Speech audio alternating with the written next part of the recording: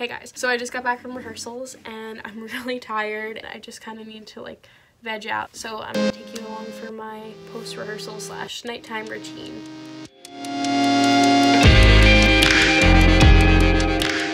So I actually picked up some skincare products from Burt's Bees because you know I love their lipstick and makeup.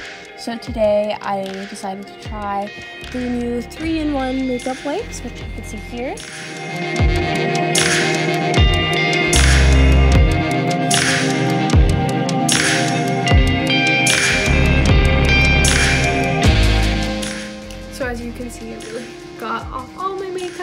And yeah, now I get to do my face mask. And I also wanted to try one of their face masks, so I'm using the Brightening Burt's Bees mask.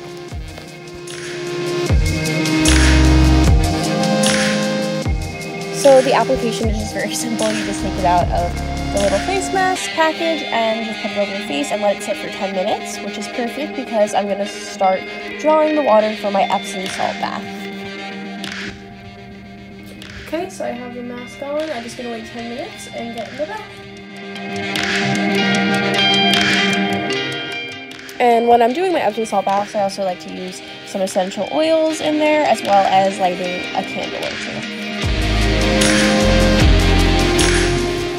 So this cute little one is from Anthropologie, which is what I decided to use today.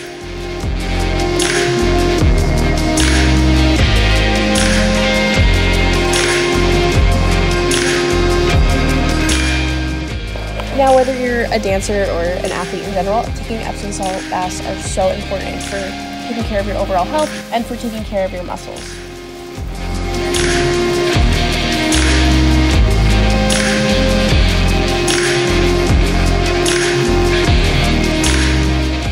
And I actually ended up leaving my face mask on for 15 minutes because I usually take Epsom salt baths for that amount of time.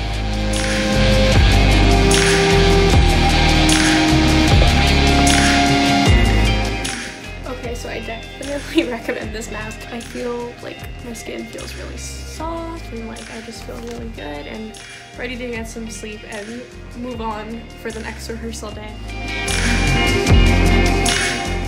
And then from there, just continue the rest of my routine. I take out my hair using my handy hairpin pal, which is just a magnet I can put all my bobby pins on.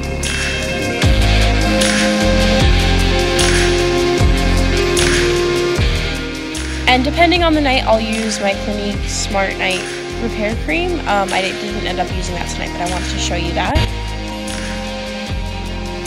And then I'll just usually brew myself a cup of tea and work on some editing videos or look over choreography for the next rehearsal day. And then I try to head to bed pretty early so I get enough sleep. So thank you so much for watching this video. I hope you enjoyed. Um, let me know if you want to see more Get Ready With Me's or post-recovery videos from a day in the life as a ballet dancer. Um, be sure to give this video a thumbs up and subscribe so you don't miss out on any of my upcoming videos. And I will see you guys next time.